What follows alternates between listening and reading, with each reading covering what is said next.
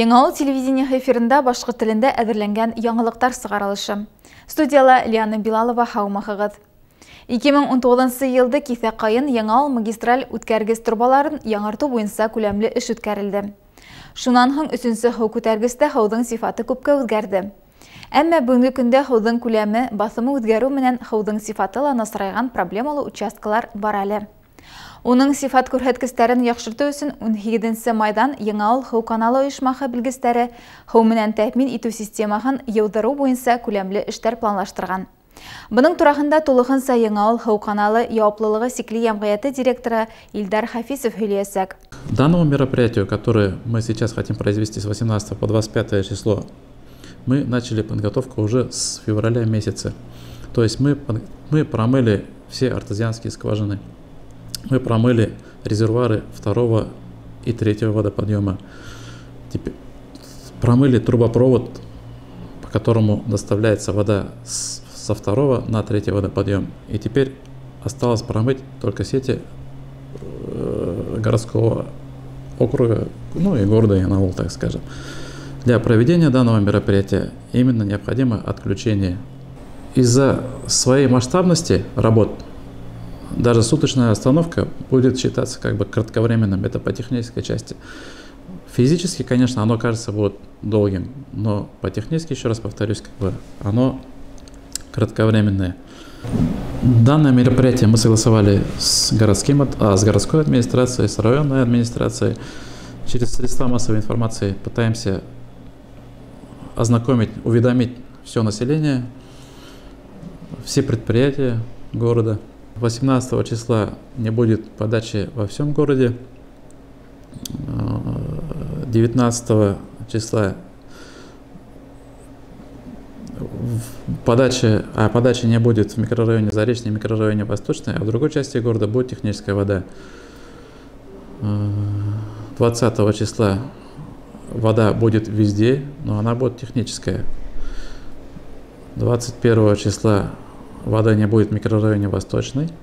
22 числа э, в микрорайоне Юбилейный. 23 и 24 числа вода будет во всем городе, но она будет также техническая.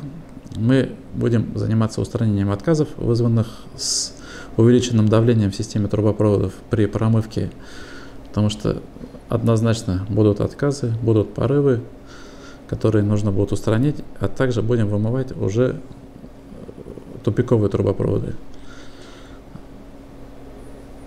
Ну и по плану хлорирования, то есть до подачи питьевой воды именно необходимо произвести хлорирование трубопроводов. В связи с чем прошу жителей города понять, что это мероприятие очень важно для нас. Просим жителей потерпеть, помочь, так скажем, запастись объемом воды. Мы организуем подвоз воды, но он будет тоже не ежедневный. В связи с чем просим жителей при подвозе сразу же отбирать воду с учетом суточного расхода питьевой воды. Опять же, обращусь к жителям, что необходимо иметь суточный запас воды. То есть машина приехала, нужно набрать суточный объем. А техническая вода для нужд системы канализации, она будет всегда. Республикала битлек режимы бара. Уны бүті емағат урындарында кию мұтлақ. Социаль әудімлігі милли проекты секторында бірдәм Рәсей партияхынан ярдамға битлік республика акцияғы еңауылды 14 май күнді өтті. Волонтердар қалабыдың түрлі үліштерінде медицина битліктері таратты. Битліктерді бітәтілеусілер ала алды. Әмі айырым ихтибарды үлкен ештәгілер, битлікхіз бұлғандар, ауырлы қатындар һәм балаларға бүлділер. Бұндай акция әлі бірінші тапқырғына өтмей. Мы сегодня вышли, чтобы еще раз э, объяснить людям, насколько важно носить маски. Мы раздаем маски, объясняем, э, зачем нужно носить маски. Маски предоставлены ну, партии «Единая Россия» в количестве 1800 штук на весь район. В городе мы сегодня раздаем 1200 масок. Всех жителей города призываем к ношению масок Шул вақытта пандемия башынан коронавирус менән расланган пациенттар ханы Башкортостанда 2000 кешенән артты. Ковид-19 буенча райондагы хәлде күзәтүен дәвам итәбез. Тулыхынса буның турахында табиб-эпидемиолог Гөлсәсәк Нурилина һөйләсәк. В Янаульском районе продолжается рост заболеваемости коронавирусной инфекцией. На 14 мая в районе зарегистрировано 17 подтвержденных случаев COVID-19. Из них 4 пациента получают необходимую специализированную медицинскую помощь в стационаре, 7 пациентов с легкой формой течения заболевания наблюдаются на дому и 6 пациентов сняты с, учетом, с учета с выздоровлением. Продолжается плановый забор мазков у групп риска по COVID-19. За весь период работы проведено 863 исследования, в том числе у лиц, прибывших из регионов 48 человек, контактных лиц 246 человек, у пациентов с признаками респираторного заболевания 30 человек, у пациентов, госпитализированных в пульмоблок с диагнозом внебольничная пневмония 36 человек. Все лечебно-профилактические учреждения района работают в режиме повышенная готовность. Обращаю внимание населения.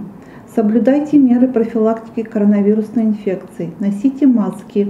Регулярно обрабатывайте руки спиртсодержащим раствором или мойте руки с мылом. Соблюдайте дистанцию как минимум 1,5-2 метра. Сейчас режим самоизоляции более свободный, но по республике с каждым днем выявляются новые случаи заболевания. Максимальное количество выявленных в Уфе более 500 случаев. На втором месте ближайший к нам город Нефтекамск, где зафиксировано более 200 заболевших с подтвержденным диагнозом ковид. И на третьем месте город Белебей – Поэтому рекомендуем без необходимости не выезжать за пределы района. Мы, медицинские работники, надеемся, что вы продолжите соблюдать все меры профилактики. Будьте здоровы! Бірінші апрельді армияға сақыру компанияға башланды. Әммә коронавирус инфекциясы менән хәл үз төзәтмәләрен индерде. Медицина тикшерүен безнең районда бөтәһе 349 егет үтәргә тиеш. армияға сақыру компанияқының бірінсі ұлтырышы үнкенсі май өтті. Медицина текшіруін ұту тәртібі үдгәрмәні. Табиптар есімлігі, шулық анализдар, әмі бойылы бетлік режимі қатғи хақлана. Бұл күнді 49 егет сақырылды. Олар арақында Венер Гарифулен. Ол қарби хәдмәті өту кәрәклігін яқшы аңлай. Сегодня пришел на представную комиссию, э, дабы прийти и доказать, что я здоров и способен защищать нашу Родину от напастей.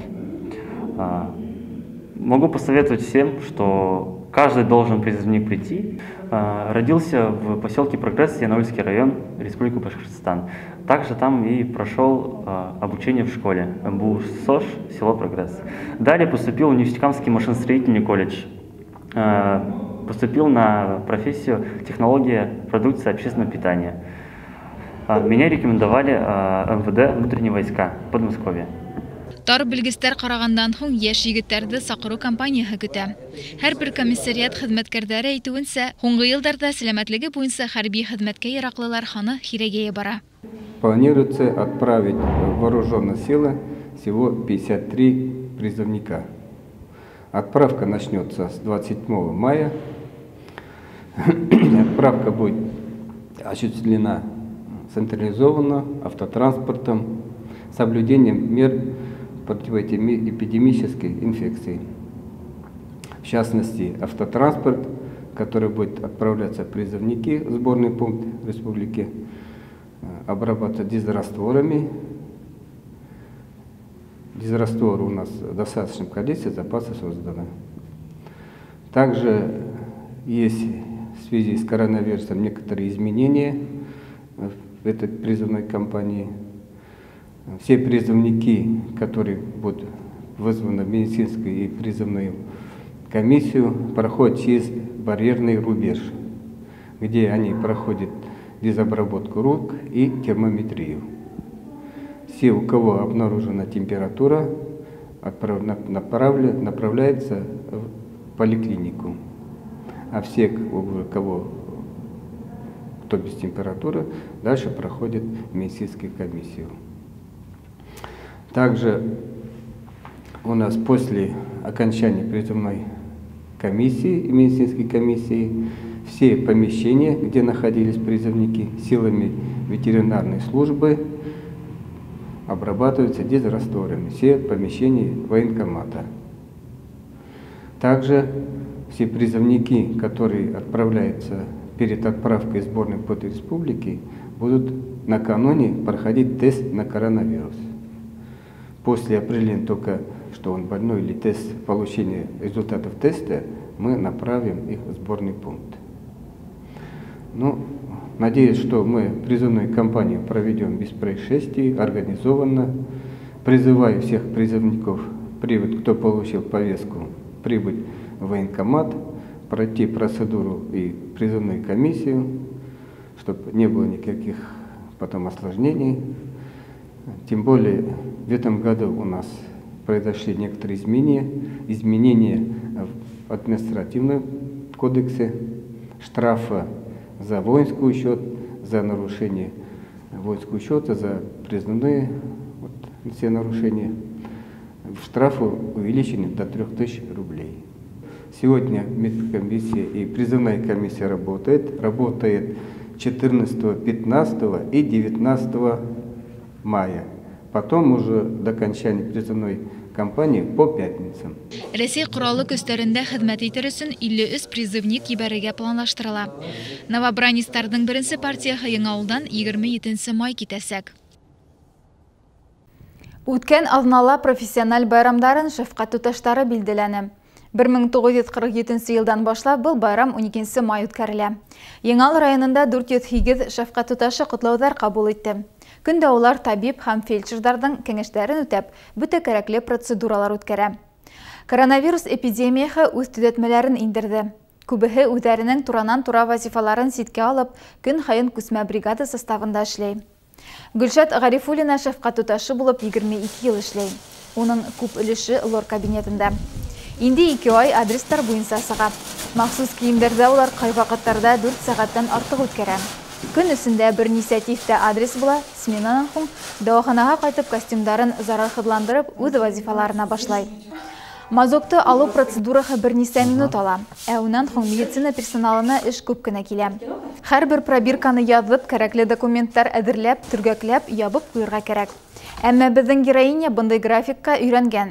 Бұл һөнәр турахында бала сақтан ук. Перешли в марте месяце, как вот уж начались вот эти больные коронавирусные. Э, списки дают эпидемиологи, кому брать забор мазка из зева и носа. Мы выезжаем. У нас две бригады, по два человека. При виде нас в костюме противочумном, конечно, люди боятся. Хотя раз у нас так по приказу положено, мы уже выезжаем ко всем в противочумных костюмах. В принципе, это я считаю, что нормально. Но многие боятся. Бывает, отскакивают от нас. Ну, сложность, я думаю, то, что вот тяжело ходить в течение дня в этих костюмах. Жарко, тем более сейчас жара началась. А так, в принципе, все нормально. Все у нас есть, обеспечивают. Бывает по 70 человек, бывает по 20, бывает 10 человек, в зависимости от количества. Подъездарды капитал ремонтлау бойынса республика программы хасиктарында 12-сі майдан, еңі урамындағы 72-сі, хикен 6-сі, хәм Ломоносов урамындағы 1-сі ханлы ертарда іштер бара. Ремонт март айында оқ башланған, әмі карантин болуы сәбәплі тұқтатылды. Хәдір ішсілер бидәкләу іштерін башқара. Штукатурлап, түшәм һәм стеналарын тигезләп буяйдар. Бер рәттән улар яңы пластик тәҙрәләр, ишектәр куеп, беренсе каттарда керамик плитка һала. Адресный перечень выбирался э, осенью 2019 года по итогам осмотров. Проводились собрания с жителями, э, согласовывались цвета покраски подъездов. Задействовано порядка 20 человек на объектах работают две подрядные организации, это ООО ЖКХ и ООО Ремстроймонтаж. Все нормы, санитарные нормы соблюдаются, маски, перчатки, дезинфицирующие средства, все есть в наличии. Планируем провести ремонт в течение двух месяцев. Также после завершения дома по улице Ломоносова 1 планируем приступить уже к двухэтажному дому, это улица Ленина 15. Ошының менән яңалыктарның бүгенге сыгарылышы тамам, алда һеҙҙе һауа торышы көтә, һау булығыҙ.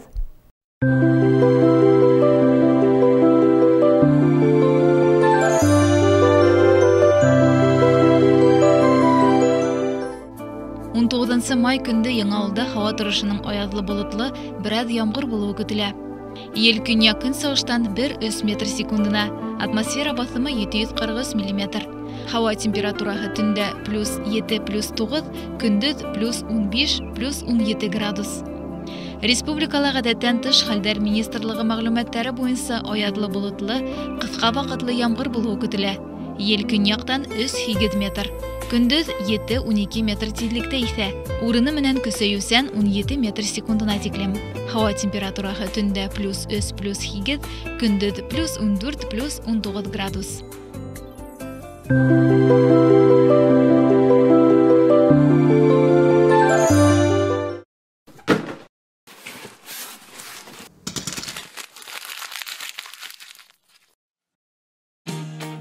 лунному календарю, каждый день особенный. В аптеках «Фармленд» тоже есть свои особенные дни. Дни большой выгоды. 20 мая в аптеках «Фармленд» скидки до 20%. «Фармленд». Жизнь продолжается.